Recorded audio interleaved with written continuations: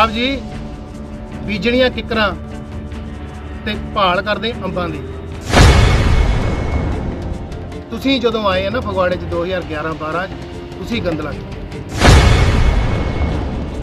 ਮੈਂ ਨਹੀਂ ਕਹਿੰਦਾ, ਸਾਰਾ ਸ਼ਹਿਰ ਇਹ ਗੱਲ ਕਹਿੰਦਾ ਆ ਵੀ ਇਹ ਮੇਰ ਪਰਚੀ ਵਾਲਾ ਬਾਬਾ ਆ, ਜਾਂ ਜੋ ਇਹਦੇ ਕੰਮ ਆ, ਜਾਂ ਮੇਰ ਦੀ ਮਰਿਆਦਾ ਨੂੰ ਇਹਨੇ ਕਿਦਾਂ ਛਿੱਕੇ ਟੰਗੀ ਰੱਖਿਆ, ਇਹ ਸਾਰੇ ਸ਼ਹਿਰ ਨੂੰ ਪਤਾ, ਤੁਹਾਨੂੰ ਪਤਾ ਹੈ।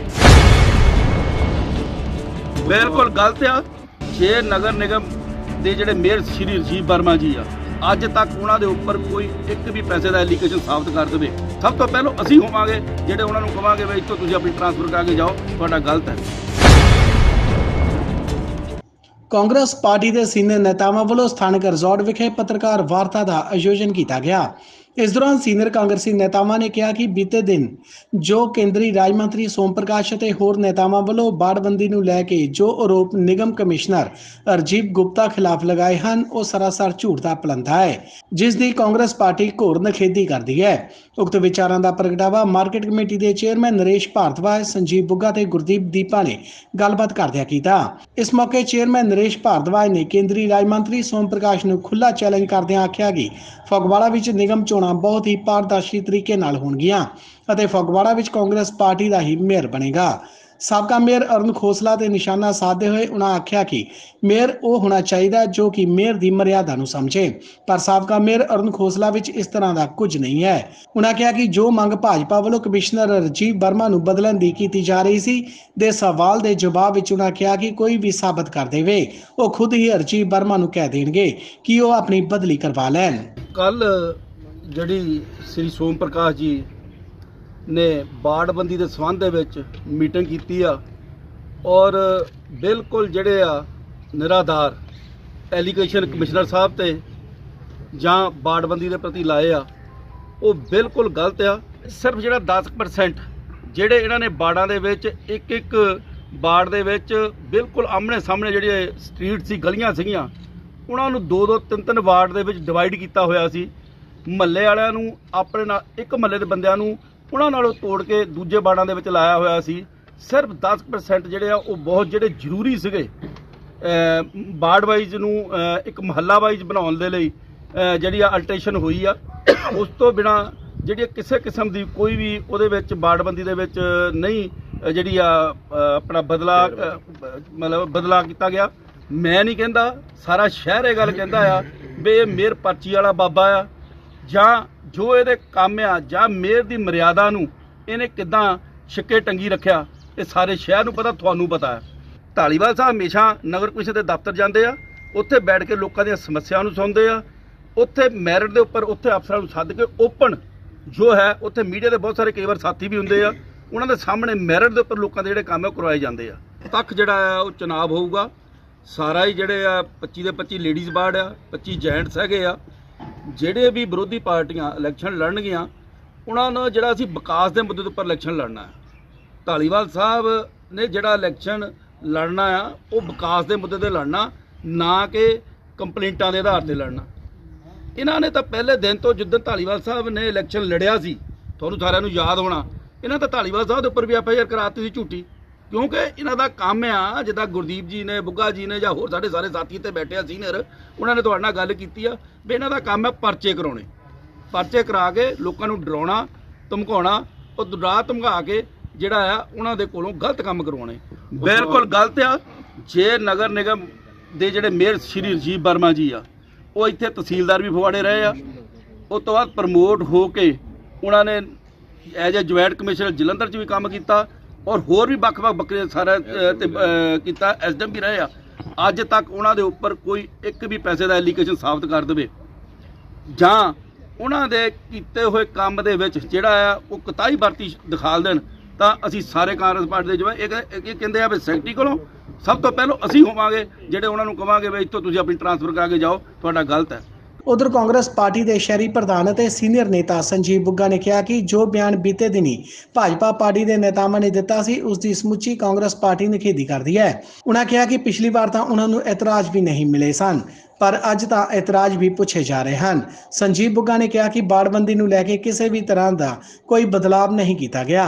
ਜੋ ਪਿਛਲੇ ਟਾਈਮ ਦੇ ਵਿੱਚ ਅੱਜ ਦਾ ਨਕਸ਼ਾ ਵੀ ਲੱਗਾ ਆ ਉਹਦੀਆਂ ਜਿਹੜੀਆਂ, ਜਿਹੜੇ ਉਹਦੀ ਸਮਰੀ ਉਹ ਵੀ ਦਿੱਤੀ ਗਈ ਆ।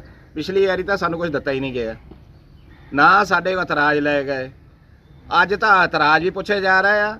ਉਹਨਾਂ ਨੇ ਇਹ ਗੱਲ ਕਹੀ ਸੀ ਵੀ ਜਿਹੜਾ ਇਹ ਨਕਸ਼ਾ ਆ, ਅਸੀਂ ਬਾਹਰ ਓਪਨ 'ਚ ਨਹੀਂ ਲਾਣਾ, ਕਿਉਂਕਿ ਸ਼ਾਮ ਨੂੰ ਉਹਦਾ ਜ਼ਿੰਮੇਵਾਰ ਕੌਣ ਆ? ਜੇ ਮੇਅਰ ਇਹ ਗੱਲ ਕਰਦਾ ਜਾਂ ਇਹਨਾਂ ਦੇ ਪਾਰਟੀ ਦੇ ਹੋਰ ਕੌਂਸਲਰ ਗੱਲ ਕਰਦੇ ਆ, ਉਹਦਾ ਜ਼ਿੰਮੇਵਾਰ ਕੌਣ ਆ? ਹਾਂ, ਹਮੇਸ਼ਾ ਹੀ ਇਦਾਂ ਹੁੰਦਾ ਆਇਆ ਕਿ ਨਕਸ਼ਾ ਲੱਗਦਾ, ਸ਼ਾਮ ਨੂੰ ਉਹਨੂੰ ਬਾਹਰੋਂ ਉਤਾਰ ਲਿਆ ਜਾਂਦਾ, ਦੂਜੇ ਦਿਨ ਫੇਰ ਲਾਇਆ ਜਾਂਦਾ।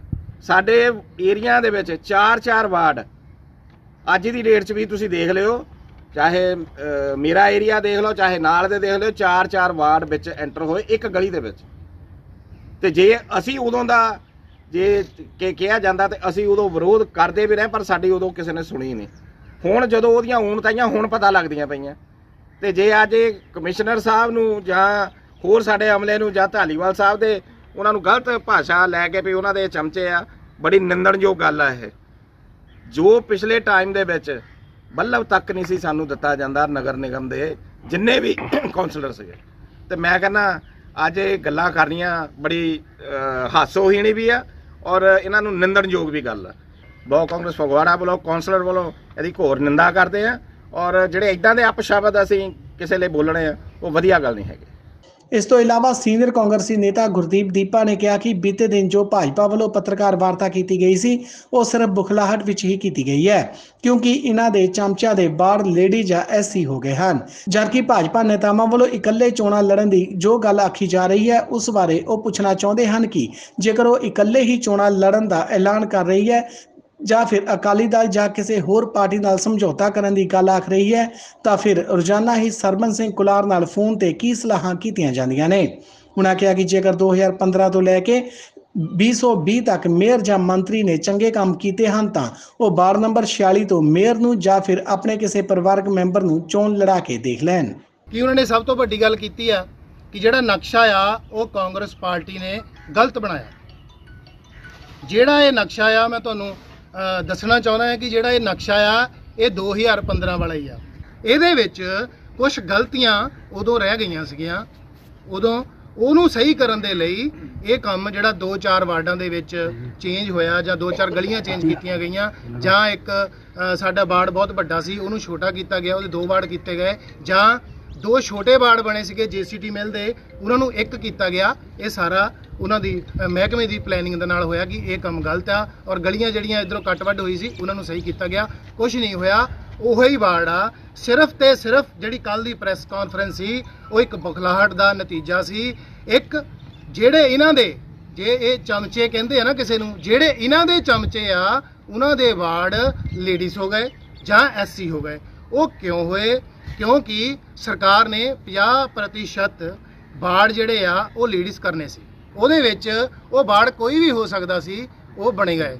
ਇਹਦੇ ਵਿੱਚ ਜਿਹੜੇ ਇਹਨਾਂ ਦੇ ਚਮਚੇ ਆ, ਉਹਨਾਂ ਦੇ ਵਾਰਡ ਖਰਾਬ ਹੋਣ ਕਰਕੇ ਜਿਹੜੀ ਕੱਲ ਦੀ ਪ੍ਰੈਸ ਕਾਨਫਰੰਸ ਕੀਤੀ ਗਈ, ਉਹ ਬਖਲਾਹਟ ਦਾ ਨਤੀਜਾ। ਔਰ ਜਿਹੜੀ ਗੱਲ ਇਹਨਾਂ ਨੇ ਕਹੀ ਹੈ ਕਿ ਇਹਨਾਂ ਨੇ ਨੋਟੀਫਿਕੇਸ਼ਨ ਨਹੀਂ ਦਿੱਤੀ ਜਾਂ ਨਕਸ਼ਾ ਨਹੀਂ ਦਿੱਤਾ, ਉਹਦੀਆਂ ਫੋਟੋਆਂ ਕਮਿਸ਼ਨਰ ਸਾਹਿਬ ਨੇ ਨੋਟੀਫਿਕੇਸ਼ਨ ਦਿੰਦਿਆਂ ਦੀਆਂ, ਜ਼ਿਲ੍ਹਾ ਪ੍ਰਧਾਨ ਦੀ। ਇਹਨਾਂ ਦੇ ਪੂਰਬ ਨਗਰ ਕੌਂਸਲ ਦੇ ਪ੍ਰਧਾਨ ਦੀ ਔਰ ਮੇਅਰ ਦੀ, ਪੂਰਬ ਮੇਅਰ ਦੀ ਫੋਟੋਆਂ ਖਿੱਚ ਕੇ ਉਹਨਾਂ ਨੂੰ ਨੋਟੀਫਿਕੇਸ਼ਨ ਦਿੱਤੀ ਆ। ਨੋਟੀਫਿਕੇਸ਼ਨ ਜਿਹੜੀ ਦੇਣੀ ਆ, ਉਹ ਕਮਿਸ਼ਨਰ ਸਾਹਿਬ ਨੇ ਇਹਨਾਂ ਦੇ ਘਰ ਨਹੀਂ ਭੇਜਣੀ। ਜਦੋਂ ਕੋਈ ਮੰਗਣ ਜਾਊਗਾ, ਉਦੋਂ ਨੋਟੀਫਿਕੇਸ਼ਨ ਮਿਲਣੀ ਆ ਔਰ ਜਦੋਂ ਇਹਨਾਂ ਨੇ ਨਕਸ਼ੇ ਦਾ ਕਿਹਾ, ਉਦੋਂ ਨਕਸ਼ਾ ਲੱਗਾ ਕਿਉਂਕਿ ਨਕਸ਼ਾ ਬਾਹਰ ਫਟ ਸਕਦਾ ਸੀ। ਨਕਸ਼ਾ ਉੱਥੇ ਅੰਦਰ ਕਮਰੇ ਦੇ ਵਿੱਚ ਪਿਆ ਸੀ। ਇਹ ਅੰਦਰ ਨਹੀਂ ਬੜੇ ਜਾਣ ਕੇ ਇਹਨਾਂ ਨੇ ਉਹ ਡਰਾਮੇਬਾਜ਼ੀ ਜਿਹੜੀ ਕੀਤੀ ਆ, ਧਰਨੇ ਦੀ ਉਹ ਆਪ ਵੀ ਕੀਤੀ ਔਰ ਨਾਲ ਦੀ ਭਾਈਵਾਲ ਪਾਰਟੀ ਤੋਂ ਵੀ ਕਰਵਾਈ ਆ ਜਿਹੜਾ ਕਿ ਅੱਜ ਸਮਝੌਤਾ ਹੱਲੇ ਵੀ ਚੱਲਦਾ ਪਿਆ। ਔਰ ਕੱਲ ਇਹਨਾਂ ਨੇ ਇੱਕ ਗੱਲ ਕਹੀ ਆ ਕਿ ਪਾ- ਜਿਹੜੀ ਭਾਰਤੀ ਜਨਤਾ ਪਾਰਟੀ ਆ, ਉਹ ਕੱਲਿਆਂ ਇਲੈਕਸ਼ਨ ਲੜੂਗੀ ਕਿਸੇ ਵੀ ਪਾਰਟੀ ਦੇ ਨਾਲ ਸਮਝੌਤਾ ਨਹੀਂ ਹੋਊਗਾ। ਜੇ ਤੁਹਾਡਾ ਕਿਸੇ ਵੀ ਪਾਰਟੀ ਦੇ ਨਾਲ ਜਾਂ ਸ਼੍ਰੋਮਣੀ ਅਕਾਲੀ ਦਲ ਬਾਦਲ ਦੇ ਨਾਲ ਸਮਝੌਤਾ ਨਹੀਂ ਹੋਣਾ ਜਾਂ ਉਹਨਾਂ ਦੇ ਨਾਲ ਜਿਹੜੀਆਂ ਤੁਸੀਂ ਜੱਫੀਆਂ ਜਾਂ ਗਲਵੱਕੜੀਆਂ ਪਾਉਂਦੇ ਸੀ ਉਹ ਟੁੱਟ ਗਈਆਂ ਤੇ ਫਿਰ ਤੁਸੀਂ ਰੋਜ਼ ਸਰਵਣ ਸਿੰਘ ਕਲਾਰ ਦੇ ਨਾਲ ਫੋਨ ਤੇ ਕੀ ਸਲਾਹਾਂ ਕਰਦੇ? ਹੋ ਫਿਰ ਜਦੋਂ ਤੁਸੀਂ ਦਿੱਲੀ ਤੋਂ ਵਾਪਸ ਜਾਂ ਚੰਡੀਗੜ੍ਹ ਤੋਂ ਵਾਪਸ ਆਉਨੇ ਆ ਤੇ ਸਰਵਣ ਸਿੰਘ ਕੁਲਾਰ ਤੁਹਾਡੇ ਆਫਿਸ 'ਚ ਬਹਿ ਕੇ ਕੀ ਸਲਾਹਾਂ ਕਰਦਾ, ਪਹਿਲਾਂ ਤਾਂ ਮੈਨੂੰ ਇਸ ਗੱਲ ਦਾ ਜਵਾਬ ਦਿਓ। ਇਹਨਾਂ ਨੇ ਕੱਲ ਕਮਿਸ਼ਨਰ ਸਾਹਿਬ ਨੂੰ ਕਿਹਾ ਕਿ ਇਹ ਕਾਂਗਰਸੀ ਆ, ਇਹ ਕਰਪਟ ਆ, ਇਹ ਕੰਮ ਜਿਹੜਾ ਆ ਕਾਂਗਰਸ ਦੇ ਕਹਿਣ ਤੇ ਕਰਦੇ ਆ। ਤੁਹਾਡੇ ਟਾਈਮ ਤੇ ਮੈਂ ਤੁਹਾਨੂੰ ਯਾਦ ਕਰਾ ਦਵਾਂ ਸਾਹਿਬ ਜੀ, ਤੁਹਾਡੇ ਟਾਈਮ ਤੇ ਵੀ, ਹੁਣ ਤਾਂ ਕੁਝ ਵੀ ਨਹੀਂ ਆ, ਉਦੋਂ ਕੀ ਹੁੰਦਾ ਸੀ? ਉਦੋਂ ਤੁਹਾਡੇ ਖਿਲਾਫ ਕੋਈ ਗੱਲ ਵੀ ਕਰਦਾ ਸੀ ਤਾਂ ਉੱਤੇ ਪਰਚੇ ਦਰਜ ਹੋ ਜਾਂਦੇ ਸੀ।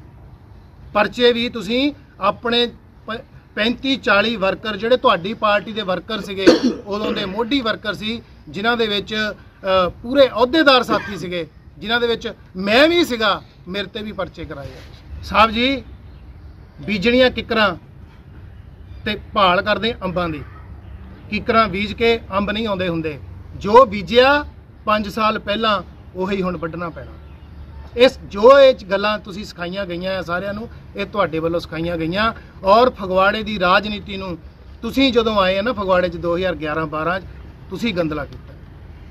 ਇਹ ਪਰਚੀਆਂ ਤੋਂ ਪਰਚੀਆਂ ਤੋਂ ਇਹ ਕੰਮ ਚੱਲਿਆ ਔਰ ਅੱਜ ਉਹੀ ਸੋਚ ਸੋਚ ਲੈ ਕੇ ਤੁਸੀਂ ਇਹ ਚ- ਚਾਹੁੰਦੇ ਆ ਕਿ ਤੁਹਾਡਾ ਜਿਹੜਾ ਵਰਚਸਵ ਬਣਿਆ ਰਵੇ, ਸਰਕਾਰਾਂ ਆਉਂਦੀਆਂ ਜਾਂਦੀਆਂ ਰਹਿੰਦੀਆਂ ਨੇ, ਸਰਕਾਰਾਂ ਬਦਲਦੀਆਂ ਰਹਿੰਦੀਆਂ ਨੇ ਔਰ ਤੁਹਾਨੂੰ ਤੁਹਾਨੂੰ ਇਹੀ ਲੱਗਦਾ ਕਿ ਮੈਂ ਉਹੀ ਕੰਮ ਕਰਾਂ। ਤੁਸੀਂ ਹੱਲੇ ਤੱਕ ਪੋਲੀਟੀਸ਼ੀਅਨ ਵਾਲੀ ਗੱਲ ਕਰਦੇ ਹੀ ਨਹੀਂ। ਉਹੀ ਅਫਸਰਾਂ ਵਾਲੀਆਂ ਗੱਲਾਂ, ਅਫਸਰਾਂ ਵਾਲੇ ਦਬਕੇ।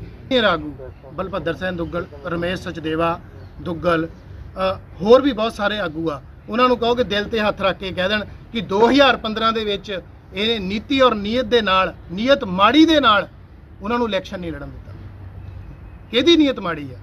ਇਹ ਵੱਡੇ ਆਗੂਆਂ ਨੂੰ ਇਲੈਕਸ਼ਨ ਨਹੀਂ ਲੜਨ ਦਿੱਤਾ। ਕਿਉਂ? ਕਿਉਂਕਿ ਮੇਅਰ ਉਹਦੇ ਮੁਤਾਬਕ ਨਹੀਂ ਸੀ ਬਣਨਾ। ਮੇਅਰ ਆਪਣਾ ਬਣਾਉਣਾ ਚਾਹੁੰਦੇ ਸੀ। ਉਹ ਜਿਹੜਾ ਇਹਨਾਂ ਦੇ ਕਹਿਣ ਤੇ ਸਾਈਨ ਕਰੇ, ਇਹਨਾਂ ਦੇ ਕਹਿਣ ਤੇ ਜਿਹੜੇ ਵੀ ਗਲਤ ਕੰਮ ਸੀਗੇ, ਉੱਥੇ ਹੋਏ ਆ। ਜੇ 2015 ਤੋਂ ਲੈ ਕੇ 2020 ਦੇ ਵਿੱਚ ਸ਼ਹਿਰ 'ਚ ਬਹੁਤ ਵਧੀਆ ਕੰਮ ਕੀਤੇ ਆ ਮੇਅਰ ਨੇ, ਜਾਂ ਮੰਤਰੀ ਨੇ, ਤਾਂ ਮੈਂ ਉਹਨਾਂ ਨੂੰ ਇੱਕ ਬੇਨਤੀ ਕਰਾਂਗਾ ਕਿ ਮੇਅਰ ਨੂੰ ਵਾਰਡ ਨੰਬਰ 46 ਜੋ ਮੇਰਾ ਵਾਰਡ ਆ, ਉੱਥੇ ਕਹਿਣ ਕਿ ਜਾ ਇਲੈਕਸ਼ਨ ਲੜ।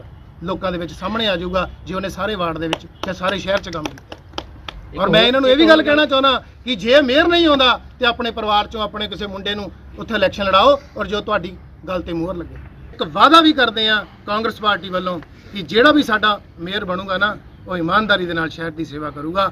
ਕੋਈ ਰੇੜੀਆਂ ਤੇ ਖੜ ਕੇ ਕੋਈ ਨਿੱਕਰਾਂ 'ਚ ਜਾ ਕੇ ਲੋਕਾਂ ਦੀ ਸੇਵਾ ਕਰਨ ਵਾਲਾ ਮੇਅਰ ਨਹੀਂ ਦੇਵਾਂਗੇ। ਬਹੁਤ ਵਧੀਆ ਮੇਅਰ ਤੁਹਾਨੂੰ ਦੇਵਾਂਗੇ ਔਰ ਜੇ ਤੇ ਤੁਸੀਂ ਮਾਣ ਕਰ ਸਕੋ ਕਿ ਹਾਂ ਆਹ ਬਣਿਆ ਫਗਵਾੜੇ ਦਾ ਮੇਅਰ ਯਾਰ ਸਾਡੀ ਟੌਰ ਇਹਦੇ ਨਾਲ ਬਣਿਆ।